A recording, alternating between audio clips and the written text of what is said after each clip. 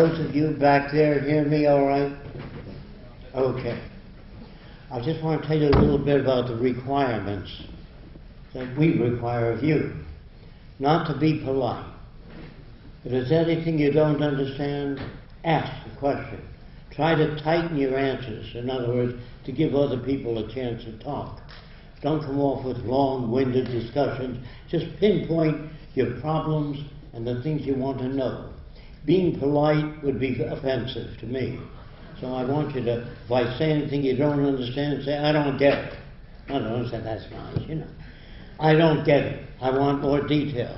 If I fail to answer your questions, say, you didn't answer my question. Please do that. Otherwise, we can't learn from each other. So I'm going to tell you a little bit of what the Venus Project is. Those of you that know what it is, will you raise your hands? So I guess I don't have to tell you what it is.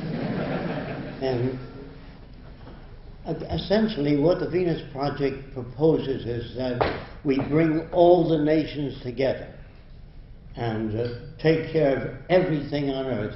We pledge allegiance to the environment and all the world's people, the end of separate nations, the end of the artificial boundaries that separate people, and the sharing of all the world's resources by all the world's people. Anything less than that will create the same problems over and over again.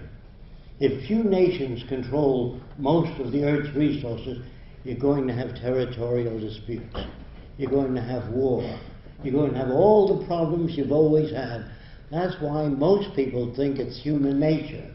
They think man is basically greedy and that this is why you have problems. That is not true. I want to say this a banker, a serial killer, and a gangster and a priest are made by environment.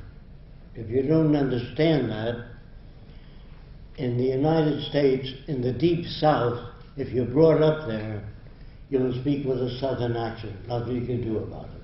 So I say, stop speaking with a southern accent. You can't. Now, if you're brought up in an uneducated region, you're going to have things like this. Those damn niggers is the way they speak. I'm, I'm imitating them. They say things like, I'm old, get me a nigger and I'll go and kick his ass. That environment, the expressions, the facial movements are picked up by the environment. It's not human behavior, it's the environment we come from which generates behavior. Now, if you're brought up in Italy, you say, come on, eat, there's a good food. Now, that is not, uh, that's the way you would speak if you were brought up there. Vive la France, Deutschland over alles, Germany above all. Now, we are victims of culture, all of us. That's why we have a distorted view. We believe that some people are good, some are bad, some are creative, some are less creative. All that's bunk. Everyone can be creative. Now, they tell you in your schools that plants grow. That's a lie. They need water, sunshine, soil, moisture, gravity, all those things. Without them, the plant, plant doesn't move. They tell you that sailboats sail. They don't sail, they're acted upon by the wind. There is nothing in the earth today that is not acted upon by resident forces, meaning your way you think, the way you move, your facial expressions. Girls behave differently than men, not because they're women. Because if a normal boy is brought up by six women, very effeminate women, and they say, Oh, did I see a gorgeous hat? That boy will speak just that way. And if you're brought up in France, you'll speak with a French accent or a French English accent. If you live in France 10 years, you move to Germany, you live there 10 years, you because a German French accent.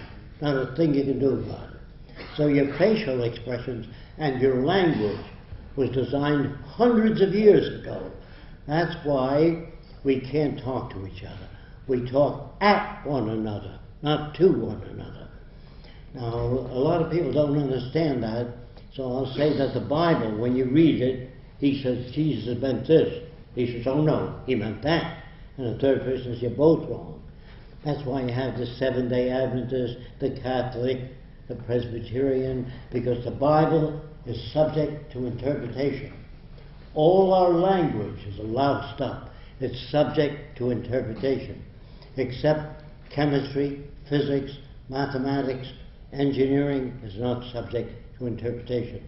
When engineers talk to each other, they talk of the tensile strength, compression strength, torsional strength, so the language is not subject to interpretation. And if you take a blueprint of an automobile from America and bring it to Japan, they turn out the same product, not subject to interpretation.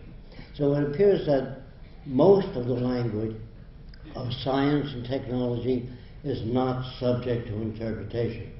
When you talk to somebody, I say, I think this is what he means, and it goes through their head and comes out different. He says, That's not what I meant. Of course you're going to have trouble. A lawyer is a guy that takes language, twists it around to any way he wants to. If he's skilled at it, he can knock you out, put you in jail. A lawyer would be considered a criminal in the future. So would all bankers and all businessmen and all politicians.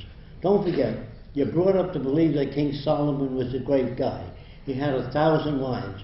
He'd be arrested today as a bigamist. So all the things that you're taught, uh, they teach you to fit in with this culture. All civilizations are established, and they're established on the basis that kept those in power in power, so they still run the show. Now, I'm not saying they're good or bad, they've been conditioned to that. Seems normal to them.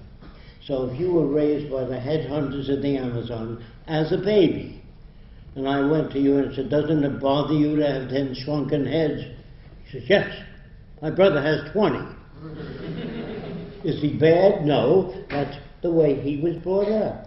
So you see, there's no such thing as thinking things over. You think within the context of the way you were brought up. If you ask an Eskimo, what do you want? You can have anything you want. He can't say a stainless steel air conditioner. It is not within his environment. So it's very hard for so-called normal people to step outside of the environment. If you ask an Eskimo, uh, do you ever dream of walking on a palm-fringed beach with coconuts and sunshine? He said, I don't know what you're talking about. He's not a bad guy. Now, in the early days in the Roman Empire, I am told that they used to feed Christians lions. But first they would starve the lions to make a better show. Then they would take the clothes off the Christians so it'd be easier for the lions to tear them to pieces. Now the family would come Saturday and Sunday to see Christians being fed to lions. And the kids would say, Daddy, can we come next week to see Christians being fed to lions? Daddy would say, if you behave yourself. now, are these kids sick? No. They're normal to that culture. The Nazis, Heil Hitler, are normal to that culture. There are no good or bad people. There are no corrupt people or dishonest people, creative people, lazy people. All that's bunk. If you're raised in a society that understands human behavior, you don't have those variations. You can block them through education. Not the education you get. That's mostly propaganda. They condition a man to become an engineer, another man a chemist, another man a physicist. And when we go to war, the physicists in Germany fall in line with that culture. In Italy, they fall in line with that culture. In America, the scientists fall in line. If they were scientists, really scientists, they would wonder what war is. Why do people kill each other? What is a serial killer? What makes them that way? They don't fall in line. Your business is to listen to me, and if there's anything you don't understand, please, during the question period, question the hell out of me. Don't accept anything I say unless I can provide sources of information. So, so far, I just want to tell you a little bit more about people. When you study architecture, all the houses, as a rule, have a pointy roof. That's conventional. Architects do not design cities for people. They design for business. They design things that will sell